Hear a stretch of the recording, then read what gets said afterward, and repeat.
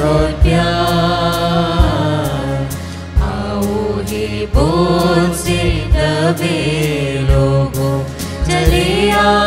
पापी गुनाह पर न हमें प्रेम ऐसा कहाँ से मिलेगा चले पापी गुनाह पर हमें प्रेम ऐसा कहाँ से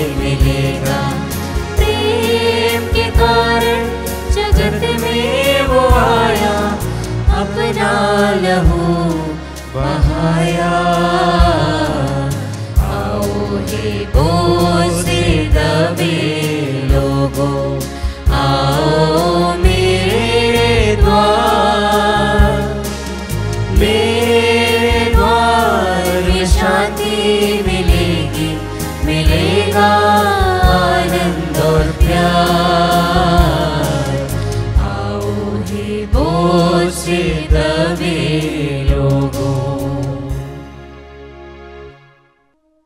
पिता और पुत्र और पवित्र आत्मा के नाम पर।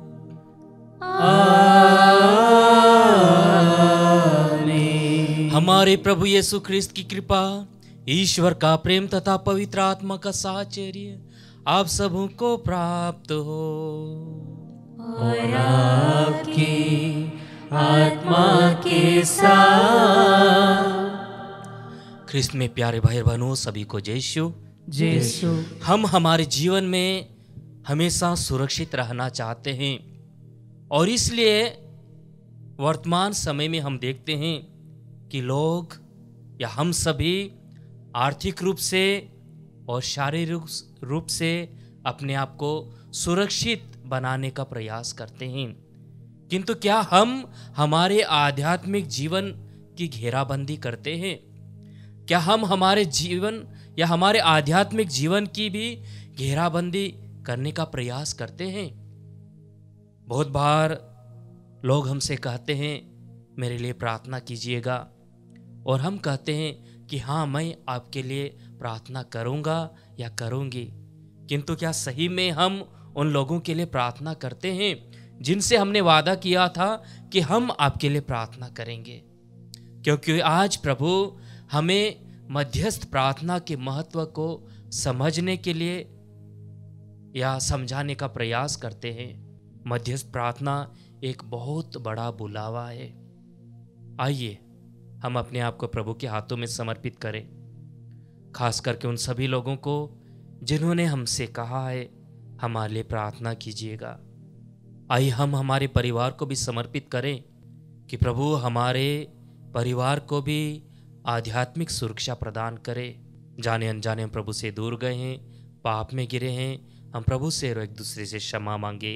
हे भाई और बहनों मैं सर्वशक्तिमान ईश्वर और आप लोगों के सामने स्वीकार करता हूँ कि मैंने मन वचन और कर्म से तथा अपना कर्तव्य पूरा न करने से अपने कसूर से अपने कसूर से अपने भारी कसूर से घोर पाप किया है।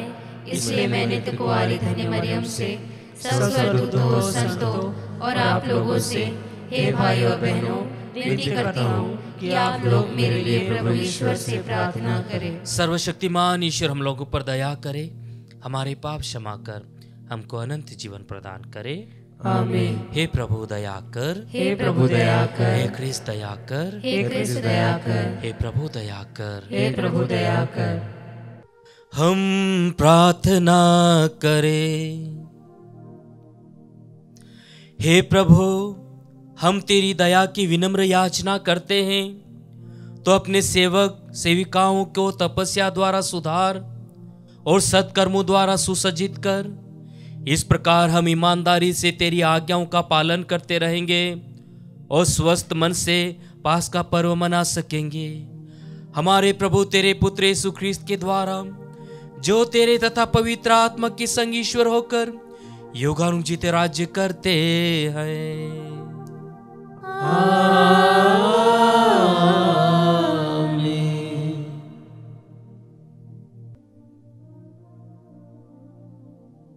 आपके हृदय में आपकी जीवा पर हो, ताकि आप योगी से प्रभु के वचन को सुना सको। पिता, पुत्र, पवित्र आत्मा के नाम पर।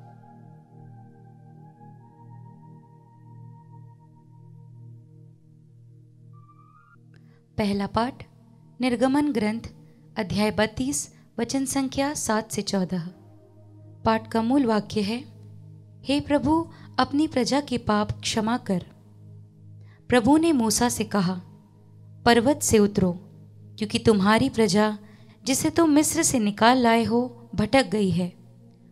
उन लोगों ने शीघ्र ही मेरा बताया हुआ मार्ग छोड़ दिया। उन्होंने अपने लिए डाली हुई धातु का बछड़ा बनाकर उसे दंडवत किया और उसे बलि चढ़ाकर कहा, हे इज़राइल, यही तुम्हारा ईश्वर है। यही तुम्हें मिस्र से निकाल लाया है। प्रभु ने मूसा से कहा मैं देख रहा हूँ कि ये लोग कितने हट धर्मी हैं। मुझे इनका नाश करने दो। मेरा क्रोध भड़क उठेगा और इनका सर्वनाश करेगा। तब मैं तुम्हारे द्वारा एक महान राष्ट्र उत्पन्न करूँगा। मूसा ने अपने प्रभु ईश्वर का क्रोध शांत करने के उद्देश्य से कहा, हे प्रभु, यह तेरी प्रजा है, जिसे तू सामर्थ तथा भुजबल से, मिस्र से निकाल लाया है। इस पर तू कैसे क्रोध कर सकता है? अपने सेवकों को, इब्राहिम, इसहाक और याकूब को याद कर। तूने शपथ खाकर उन्हें यह प्रतिज्ञा की है। मैं तुम्हारी संतति को स्वर्ग के तारों की तरह असंख्य बनाऊँगा और अपनी प्रतिज्ञा के अनुसार तुम्हारे वंशजों को यह समस्त देश प्रदान करूँगा और वे सदा के लिए इसके उत्तराधिकारी हो जाएँगे। तब प्रभु ने अपनी प्रजा को दंड देने की जो धमकी दी थी उसका विचार छोड़ दिया। प्रभु की वाणी। ईश्वर को धन्यवाद। भजन अनुवाक्य। हे प्रभु तू अपनी प्रजा को प्यार करता है मुझे भी याद कर। हे प्रभु तू अपनी प्रजा को प्यार करता है मुझे भी याद कर। उन्होंने होरेब में एक बछड़ा बनाया। उन्होंने एक प्रतिमा की आराधना की। उन्होंने अपने महिमामय ईश्वर के बदले घास खाने वाले बैल की प्रतिमा की शरण ली। अनुवाक्य हे प्रभु तू अपनी प्रजा को प्यार करता है मुझे भी याद कर। उन्होंने अपने उस मुक्तिदाता ईश्वर को भुला दिया जिसने मिस्र देश में अपूर्व कार्य किए हाम देश में महान चमत्कार दिखाए और उन्होंने शत्रुओं को लाल समुद्र में मारा था। अनुवाक्य हे प्रभु, तू अपनी प्रजा को प्यार करता है, मुझे भी याद कर। जय घोष। ईश्वर ने संसार को इतना प्यार किया कि उसने उसके लिए अपने इकलौते पुत्र को अर्पित कर दिया, जिससे जो कोई उसमें विश्वास करे, वह अनंत जीवन प्राप्त करे।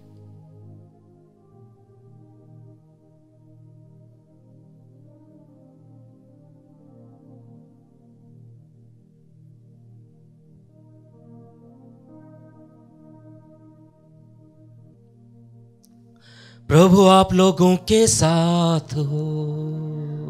और आपकी आत्मा के साथ। संत योहन के अनुसार पवित्र सुसमाचार। हे प्रभु तेरी महिमा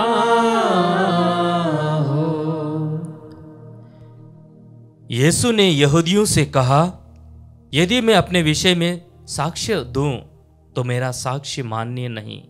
यदि कोई दूसरा मेरे विषय में साक्ष्य देता है और मैं जानता हूँ कि वह मेरे विषय में जो साक्ष्य देता है, वह मान्य है। तुम लोगों ने योहन से पूछवाया और उसने सत्य के संबंध में साक्ष्य दिया।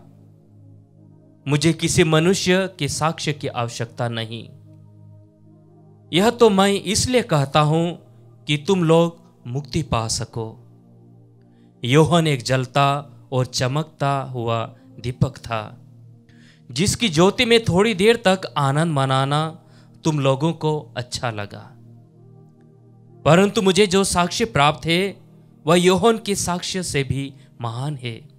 पिता ने जो कार्य मुझे पूरा करने के लिए सौंपा है, जो कार्य मैं करता हूँ, वे ही मेरे विषय में साक्ष्य देते हैं कि पिता ने मुझे भेजा है। पिता ने भी जिसने मुझे भेजा है, मेरे विषय में साक्ष्य दिया है।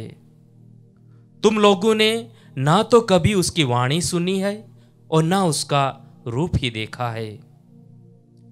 उसकी शिक्षा तुम लोगों के हृदय में घर नहीं कर सकी, क्योंकि तुम उसमें विश्वास नहीं करते जिसे उसने भेजा है। तुम लोग यह समझकर धर्म ग्रंथ का अनुशीलन करते हो, उसमें तुम्हें अनंत जीवन का मार्ग मिलेगा। वही धर्म ग्रंथ मेरे विषय में साक्ष्य देता है। फिर भी तुम लोग जीवन प्राप्त करने के लिए मेरे पास आना नहीं चाहते हैं। मैं मनुष्य की ओर से सम्मान नहीं चाहता। मैं तुम लोगों के विषय में जानता हूँ कि तुम ईश्वर से प्रेम नहीं रखते। मैं अपने पिता के नाम पर आया हूँ। फिर भी तुम लोग मुझे स्वीकार नहीं करते। यदि कोई अपने ही नाम पर आए तो तुम लोग उसको स्वीकार करोगे। तुम लोग एक दूसरे से सम्मान चाहते हो, और वह सम्मान नहीं चाहते। जो एकमात्र ईश्वर की ओर से आता है तो तुम लोग कैसे विश्वास कर सकते हो? यह न समझो कि मैं पिता के सामने तुम लोगों पर अभियोग लगाऊँगा। तुम पर अभियोग लगाने वाले तो मूसा हैं, जिन पर तुम भरोसा रखते हो। यदि तुम लोग मूसा पर विश्वास करते तो मुझ पर भी विश्वास करते, क्योंकि उन्होंने मेरे विषय में लिखा है। यदि तुम लोग उनके लेखों पर विश्वास नहीं करते तो मेरी शिक्षा पर कैसे विश्वास करोगे? प्रभु का सुसमाचार। हे क्रिस्त तेरी स्तुति हो। ख्रिस्त में प्यारे भाई बहनों जिस प्रकार मैं प्रस्तावना में आपसे कहा कि प्रभु आज हमें मध्यस्थ प्रार्थना के महत्व को समझने के लिए निमंत्रण देते हैं या प्रभु मध्यस्थ प्रार्थना की ताकत को या उसके महत्व को समझाने का प्रयास करते हैं। मूसा कुछ समय के लिए अपने लोगों से दूर चले जाते हैं।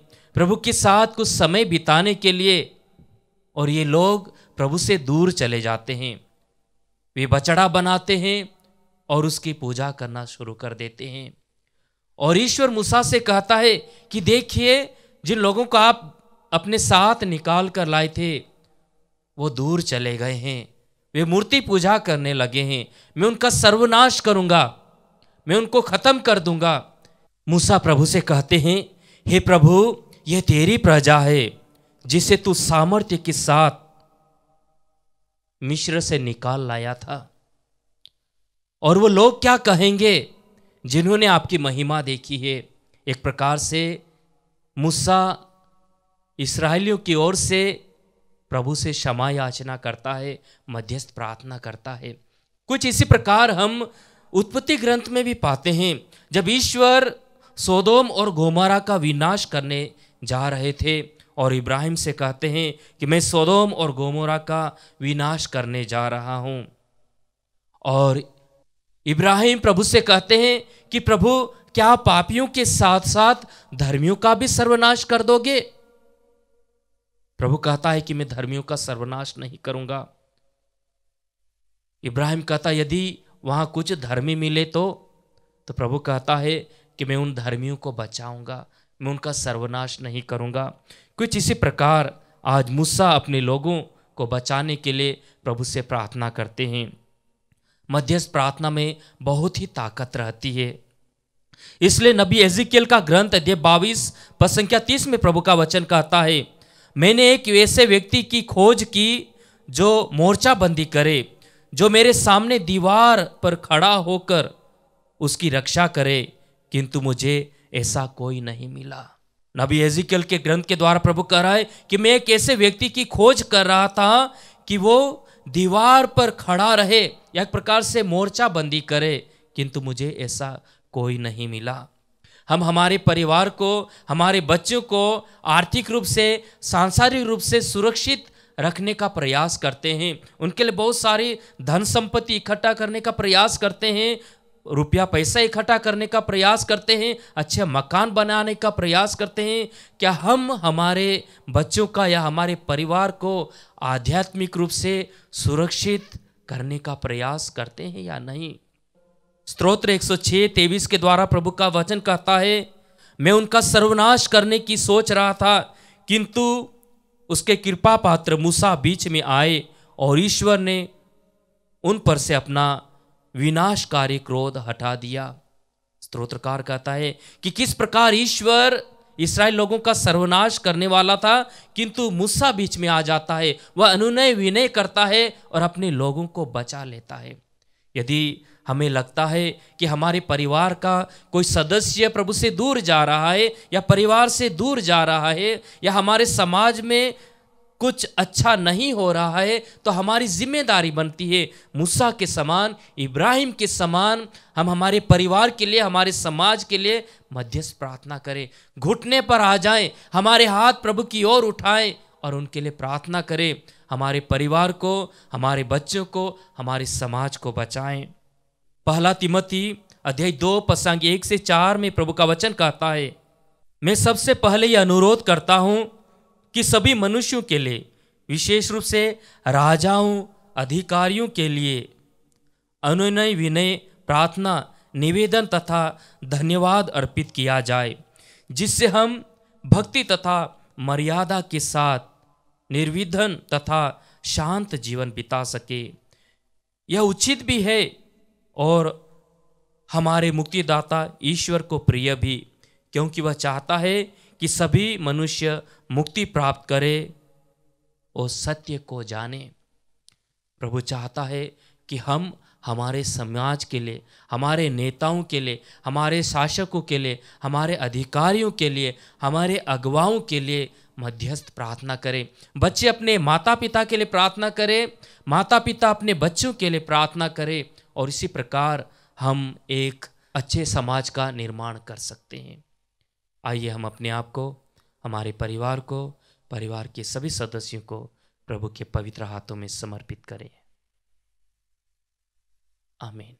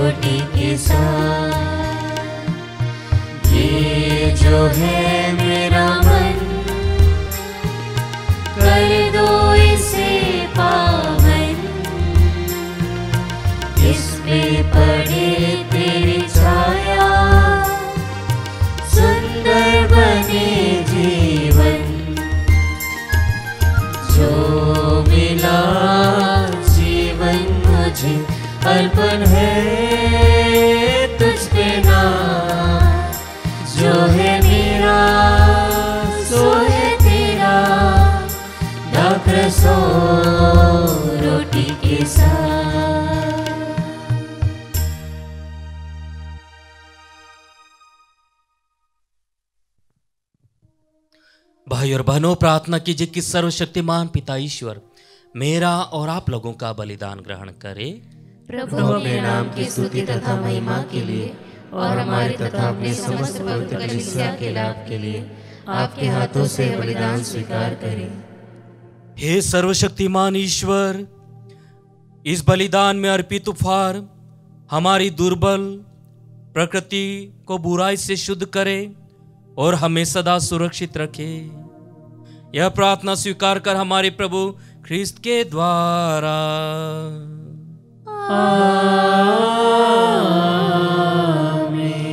प्रभु आप लोगों के साथ हो। और आपकी आत्मा के साथ। प्रभु में मन लगाइए। हम प्रभु में मन लगाए हुए हम अपने प्रभु ईश्वर को धन्यवाद दें। न्याय संगत हे प्रभु, पवित्र पिता सर्वशक्ति मानो शाश्वत ईश्वर, यह वास्तव उचित और न्याय संगत है। हमारा कर्तव्य तथा कल्याण है कि हम सदा सर्वत्र तुझे धन्यवाद दे। तू चाहता है कि हम आत्मा त्याग के द्वारा तेरे प्रति अपनी कृतज्ञता प्रकट करें, अपनी पाप में दुष्टता कम करें, गरीबों के भरण पोषण में योगदान दें और तेरी दयालुता का अनुकरण करें। इसीलिए असंख्य स्वरदूतों के स्वर में स्वर मिलाकर हम भी तेरे महिमा का बखान करते हैं।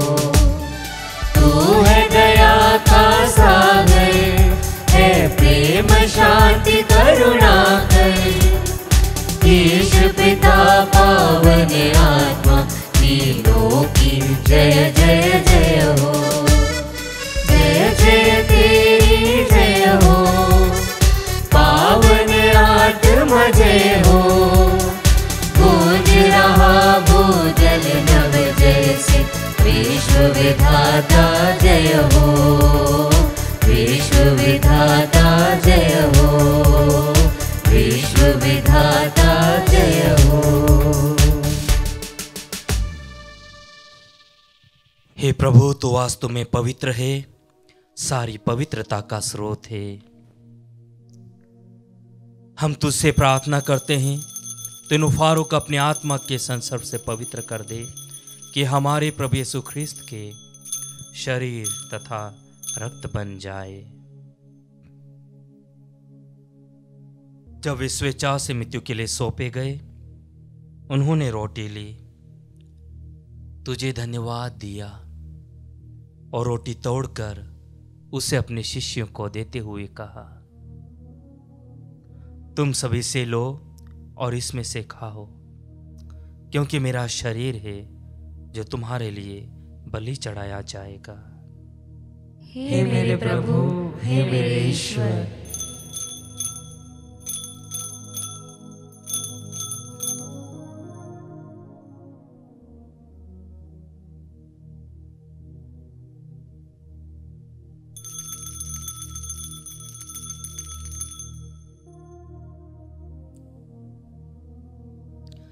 इसी भांति भोजन के बाद उन्होंने कटोरा लिया, तुझे धन्यवाद दिया, और उसे अपने शिष्यों को देते हुए कहा, तुम सभी से लो और इसमें से पियो, क्योंकि मेरे रक्त का कटोरा है, नवीन और अनंत व्यवस्थान का रक्त, जो तुम्हारे और बहुतों के पापों की क्षमा के लिए बहाया जाएगा। तुम मेरी स्मृति में यह करो। हे मेरे प्रभु हे मेरे ईश्वर।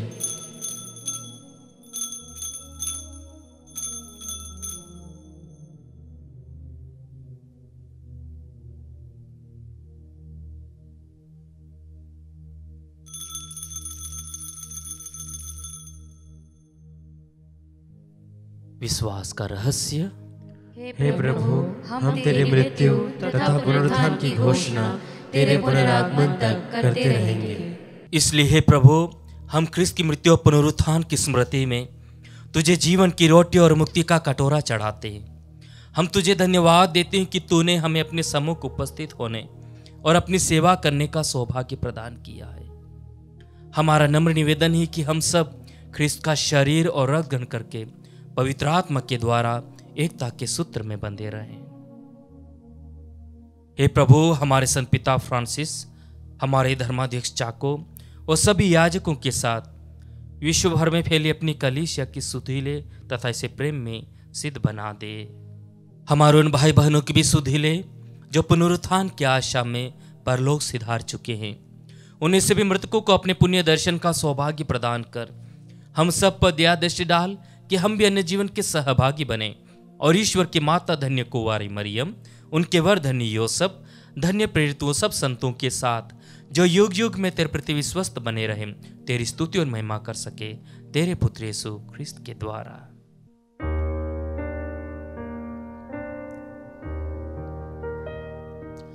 इन्हीं प्रभु क्रिस्त के द्वारा, इन्हीं के साथ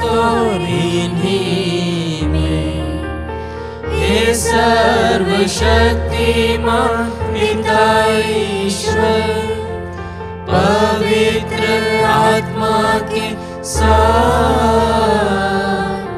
सारा गौरव तथा सम्मान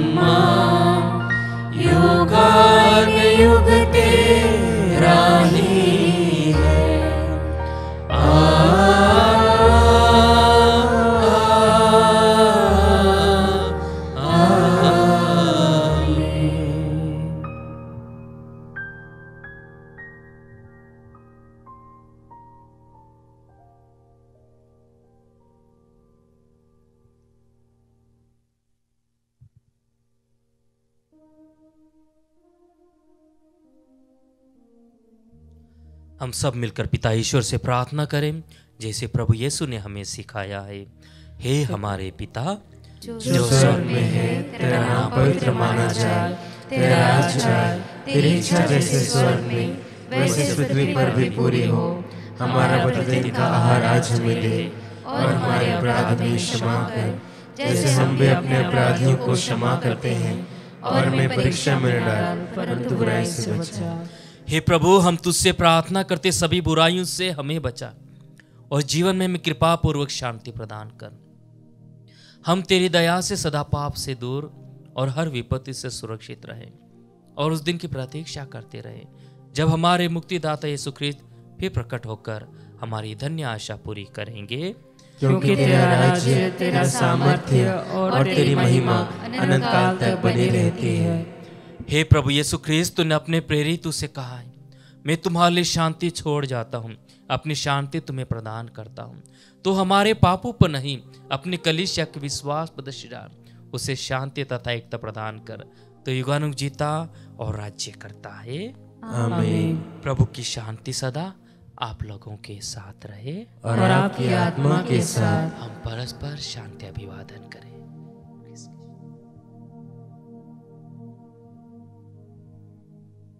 हे ईश्वर के मेमने तू संसार के पाप हर लेता है। हम पर दया कर, हे ईश्वर के मेमने तू संसार के पाप हर लेता है। हम पर दया कर, हे ईश्वर के मेमने तू संसार के पाप हर लेता है। हमें शांति प्रदान कर।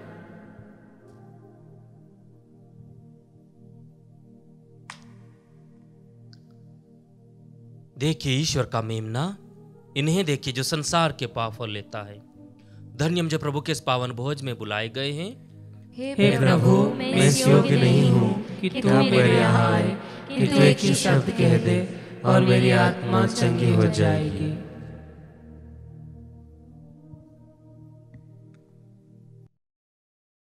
हे मेरे प्रभु यीशु मैं सारे हृदय से विश्वास करती हूँ कि आप पवित्र यूक्रिस्तीय संस्कार में उपस्थित हैं। हे प्रभु मैं सभी चीज़ों से बढ़कर आपको प्रेम करती हूँ। और मेरी यही अभिलाषा है कि आप मेरी आत्मा में आकर बस जाएँ, क्योंकि हे प्रभु मैं आपको आज ग्रहण करने में असमर्थ हूँ। हे प्रभु आध्यात्मिक रूप से आकर मेरे हृदय में समा जाइए। हे यीशु मैं आज आप में एक होना चाहती हूँ और आप में समा जाना चाहती हूँ। हे प्रभु, यह कभी ना होने पाए कि मैं आपसे कभी अलग हो जाऊँ। आमीन। हम प्रार्थना करें। हे प्रभु, जो संस्कार हमने ग्रहण किया है, वह हमें शुद्ध करे। और तेरे सेवक सेविकाओं को हर प्रकार के दोष से मुक्त करे ताकि जो लोग अंतकरण की दोषी भावनाओं से जकड़े हुए हैं वे स्वर्गिक औषधि की पूर्णता पर गर्व करें। यह वर दे हमारे प्रभु यीशु ख्रिस्त के द्वारा।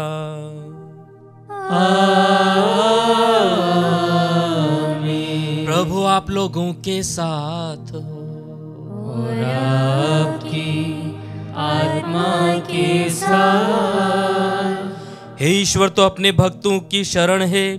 अपनी प्रजा पर आशीष बरसा और उनकी देखभाल कर। वह शत्रु से सुरक्षित रहकर सदा तेरे प्रेम में दृढ़ बनी रहे। हमारे प्रभु ख्रिस्त के द्वारा।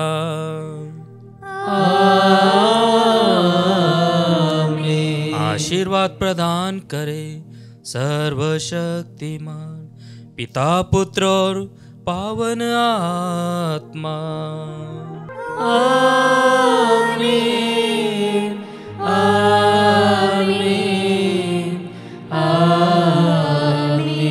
जाइए क्रिस्ती यज्ञ हुआ संपन्न। ईश्वर को धन्यवाद।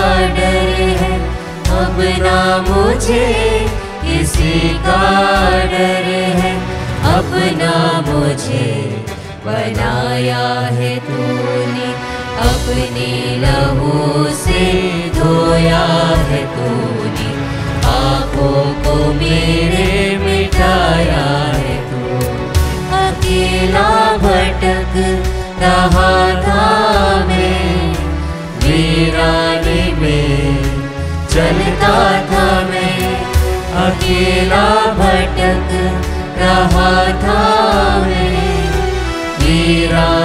में, चलता था मैं